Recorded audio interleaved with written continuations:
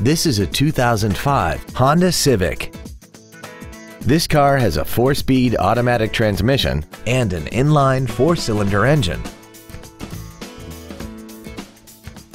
Features include air conditioning, cruise control, full power accessories, a passenger side airbag, a rear window defroster, variable valve timing, tinted glass, an anti-lock braking system, and a sunroof enables you to fill the cabin with fresh air at the push of a button.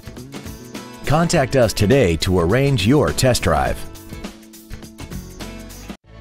At Terry Lee Honda, we offer new Honda cars in the Indianapolis area, along with used cars, trucks, and SUVs by today's top manufacturers. Stop by and visit at 8693 East US Highway 36 in Avon or see us online at terryleehonda.com.